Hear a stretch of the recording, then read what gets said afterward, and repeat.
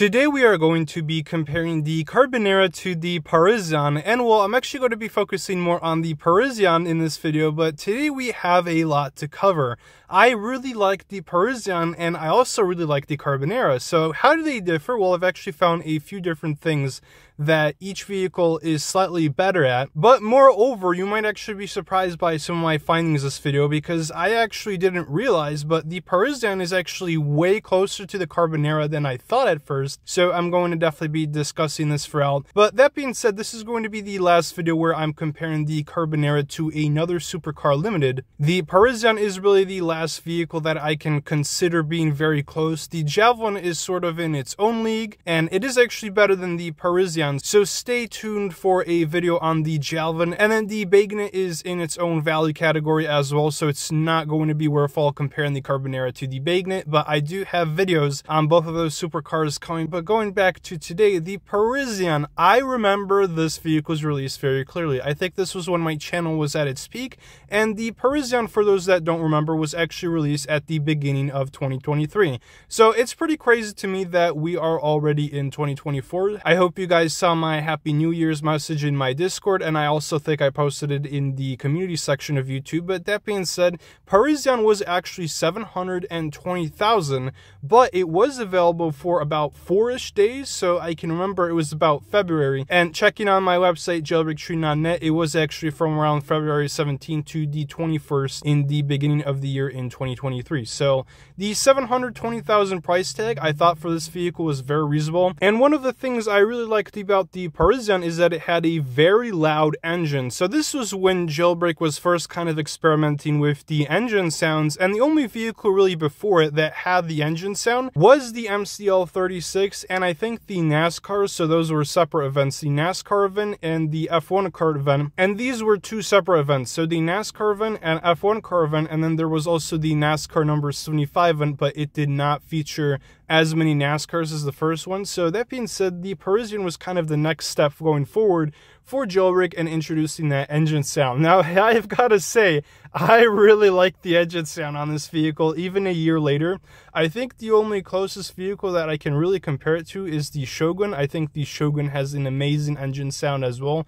And then kind of the other vehicles, they are pretty alright, but comparing it to the Carbonara, considering it had the $800,000 price tag, I would expect there to be an engine sound because that was kind of the standard that the Parisian set, as well as what the Snake and kind of um, Aperture had. They also had sort of unique engine sounds. But that being said, I thought that this vehicle was really cool in that regard, just having the mirrors as well. Again, this is stuff that you might think is pretty typical as of jailbreak right now. A lot of the seasonal cars have had it. But for as long as I can remember, that was one of the standout features of the Parisian. And today we're actually going to be seeing what other factors kind of stand out about the Parisian compared to the Carbonara. So obviously, the start of the year was about season 14, and this was the for the Champions event. I remember covering this season kind of thoroughly, but here's the thing, this season was not too popular. I don't think For the Champions did too well. In fact, I actually made a lot of videos on each of these single items, so there was a short for every single season pass item, and well, I found out pretty quickly that no one really cared about the entire season besides the Proto 8, which was the season prize, and actually that's one of the reasons that the Proto 8 was rising in the first place. The season 14 for the Champions one was just not a great one, and well, I think a lot of people didn't actually play that season and got the Proto 8 because it shortly started spiking up in value. So I remember when the Proto 8 was still like 2.5 million. I got at least three of them, and then take a look now.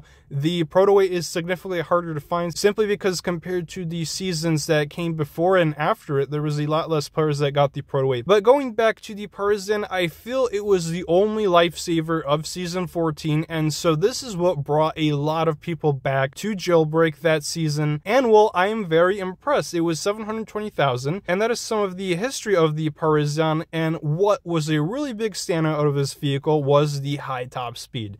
Now, I'm going to be honest, they did something a little bit different with the Parisian. Going forward with the new engine sound, the mirrors, they were trying to make the cars a little bit realistic. And the only downside that I can think of the Parisian that I can recall is in fact that it has had significantly worse braking. If you actually watch yesterday's comparison to the Power 1, you're going to notice that the Power 1 instantly brakes from 200 miles per hour to zero in less than a second, whereas the Parisian, it takes maybe four to five seconds to basically deaccelerate from that 200 mile per hour speed in order to come to a full stop. So that is one of the things that I personally do not like about the Parisian. And yeah, the slow braking is kind of a bummer. If you're also going to be using this vehicle across heavy terrain, it's not even worthwhile because it's just going to be flipping over all of the time and then that braking is just going to be terrible for making turns. So the Parisian was by far not a perfect vehicle, but for 720,000 ladies and gentlemen, it had that top speed. Parisian has a top speed of 317 miles per hour. It was very fast for the time and the only thing that pretty much had a higher top speed was something like the Concept, the Brulee, and now even though the Eclair is included and it is actually slightly faster than the Parisian, it wasn't actually always that way. So as you guys know, the Eclair did receive a revamp recently, which I still have to discuss thoroughly what my thoughts are.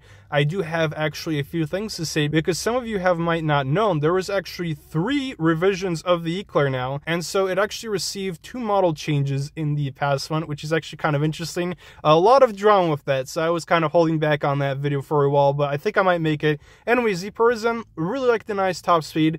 And the reverse speed is actually not that bad either. So it has about 77 miles per hour reverse speed and it is slightly slower than some vehicles. Like I'm used to the M12 as well, kind of slower top speed, but now we compare it to the Carbonara. I feel I have talked a lot about the Carbonara recently, and so therefore this is kind of the last video where I'm going to be explicitly mentioning it in the video title. But yes, the Carbonara is just a slightly bit faster than the Parisian. It is actually literally a very similar top speed, so it's basically getting a little bit higher top speed, maybe in those last few miles per hour, and I was getting around 330 miles per hour for it. Now, again, that is not always going to be what you are realistically getting. They're both very similar in the top speed department, and if you use Rocket Boost, which is what I'm using all the time, then yes, you're going to be noticing that the Carbonara and Parisian are very similar in top speed because both of these vehicles actually go for top speed. But I also wanted to compare the reverse speed of these vehicles, and would you look at that, the Carbonara is actually just a little bit faster. So the Carbonara has the 90 mile per hour reverse speed, whereas the Parisian is just slightly slower, somewhere around 75, 77 miles per hour. Not a big difference, but definitely noticeable. Now, the next thing I wanted to talk about is in fact the launch speed. And so, although I mentioned that the top speed of the Carbonara and Parisian were very similar,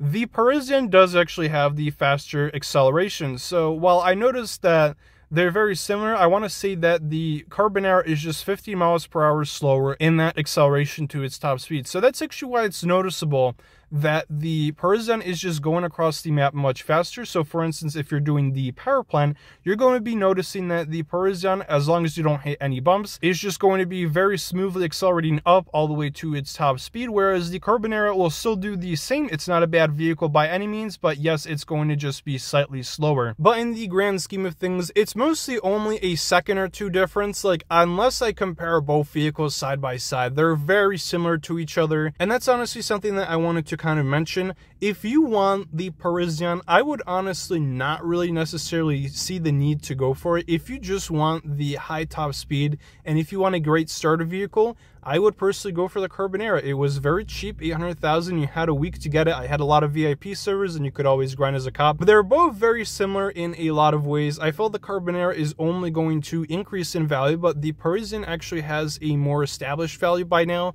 So here's the difference between the two. It really comes down to the price tag. Do you want to spend 3 million on the Parisian? That is actually its value on jailbreaktrading.net. I've gotten anywhere from 2.5 million to 3 million for the Parisian.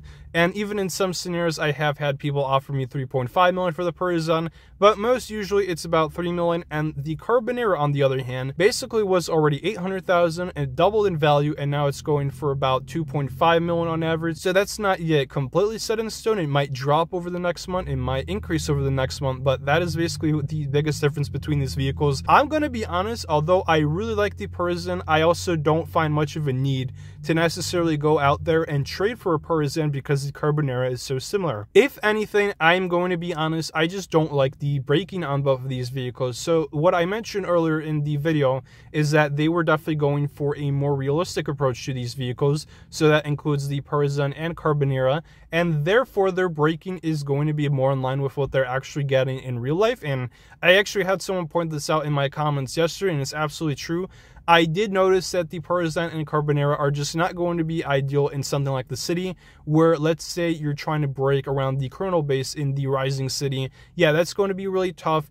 Going across the tracks is going to be a little bit of a nuisance on both of these vehicles. They don't have the best ground clearance, but in a lot of ways, they're so similar to each other that if you really wanted the Parisian, you don't necessarily need it because the Carbonera, it is better in some ways, it is slightly worse in some ways, but they are both incredibly fast. They're both incredibly good in acceleration, and I think the handling is on par. I've showed a lot of gameplay in the background. This is how I've always kind of been doing, so you can visualize kind of what my experience with these vehicles are. So I always record at least 30 minutes of footage with each vehicle to get a good idea of how they perform, and I've got to say, they're both very similar to each other. I can't really say much else, but if you want the slightly better braking, then yes, you can check out the Aperture and the Power One. Those are the vehicles I previously compared to the Carbonara, and well, there isn't a whole lot of reason to really get a Parisian now, as sad as it is to say. I think if you want the Carbonara, it is a very good practical vehicle.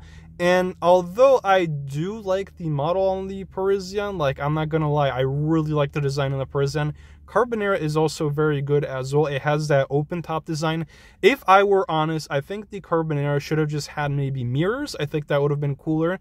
And maybe, maybe if it had opening doors, I think that would have been just as cool as well. Something I haven't actually talked about is, in fact, the opening doors. I don't think that the Parisian had it either, but I think it was mostly to do with complications with its design. It is, in fact, the last vehicle that probably was entered into jailbreak creations before that 6,000 plus triangle limit and well therefore if you really look up close and this is mostly relating to when I was making the thumbnail for this video when I was going up with the cinematic camera I could definitely not count the polygons as compared to the Carbonara but that being said I think that the Parisian has that really distinct look. I kind of like the colors for it. You don't really see green being used in a lot of vehicles right now and yes I really like the fact that the Parisian kind of went out of its way to have a little bit more of a distinct look. Even though some of it is fictional some of it is based off real life I like how the Parisian turned out. Carbonara goes second. I think it's just that open top design that is a little bit interesting because I'm personally used to open top vehicles and jailbreak being like the posh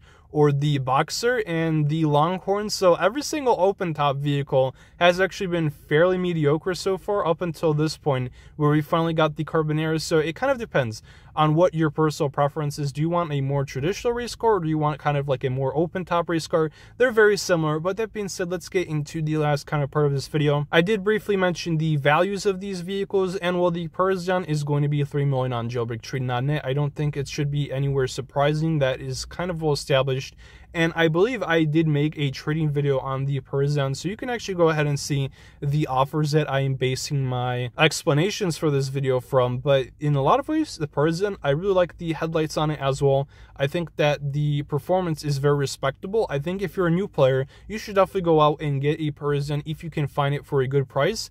But as soon as you kind of go above that 3 million mark, that's when I'm like, I don't think it's necessarily worth it because then I would actually prefer going over the Aperture. The Aperture is a very good vehicle I discussed, but I do prefer its acceleration compared to the Parisian. I think that it's not actually contest. The Parisian and Carbonara, even though they have good acceleration, they're not going to compare to the Aperture. And well, the Aperture is going to be in the same range as these two vehicles. And the Power One is also another vehicle I discussed, although it is actually twice as much as something like the Parisian right now. So that is mostly because it is trending right now. You can definitely see my last video on that. But that being said, the Carbonara, very close to the Parisian. It's mostly rising right now. So some people are going to want expectations, but I think those that wanted the Carbonara, you are more than good enough with the Carbonara. I think it is a very respectable vehicle. I feel you can get a lot of use out of it. And if you're a new player, then definitely get yourself a Carbonara right now. It's actually going probably for the lowest it is right now. It's usually like this how trading works, where when the vehicle first releases and people want the most overpays for it, let's say some people got lazy grinding, they didn't buy the Carbonara. Usually they think when a limited first releases, that's going to be when it's cheapest, but it's actually not. People want the most overpays for the limited at its start, and then the hype kind of dies down, which is where we're at right now with the Carbonara. The hype is kind of in the middle right now. The value is sort of getting there to being set in stone, but not not quite, and it's in fact probably going to be the cheapest time right now. You can get yourself a Carbonara, and if you want the Parisian, you like the Parisian gameplay in the background of this video, you can definitely use the Carbonara with an ad or two and get yourself a Parisian. So that being said, definitely make sure to check these values on jailbreaktrading.net if you're watching this video a month or two from now. I am sure that the Carbonara and the Parisian are going to be in a more interesting state, but quite simply, the Parisian has been in the game for longer, whereas the Carbonara is its closest competitor, and it was added to the game last week. So I don't have much else to really say about these vehicles. They're both very respectable in their own ways, and they both have served me well. So I did enjoy using these vehicles in the game, and I think if you're still using these vehicles in jailbreak and you just started the game, you are more than in a great spot. And I think if anything, you only lose that on that braking speed. So if you play as a cop often, that's when I would notice the braking kind of being a penalty for both of these vehicles. The cop team kind of needs to do pit maneuvers a lot, and if you don't use pit maneuvers and these vehicles are completely fine. That's just one of my gripes with these two vehicles that the Aperture and Power 1, because they don't have a realistic braking kind of thing going on, then yes, that's why the Parisian and the Carbonara seem out of place. But that is all I had to say about these vehicles. I really enjoyed them. And if you're new to my channel, make sure to subscribe. And if you like the video, make sure to like. I really enjoy making these videos for you guys, so be sure to bring the support and I'll keep making some more. But that being said, happy new year to you all, and I'll keep you updated on jailbreak training videos. Have a great day.